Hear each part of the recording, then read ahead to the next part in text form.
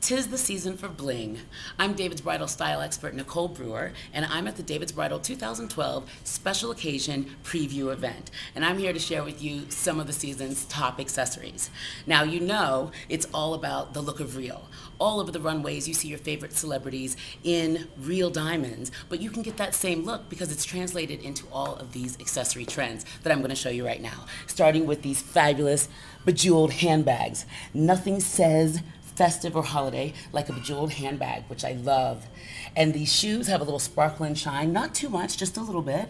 And you have got awesome headwear pieces with a little bling. But if headwear is not where you want to go, try a sash. We've got jewel encrusted sashes that not only create a waist, but also make a huge, bold statement. You've got jewels, you've got feathers, you've got lace, and flowers. The options are endless, and these solid jewel tones colors are beautiful as well. Now, in terms of these rhinestones, this is how you can really get the look for less. These are delicate, they're, they're dramatic, but they're also, they look real. You can't go wrong.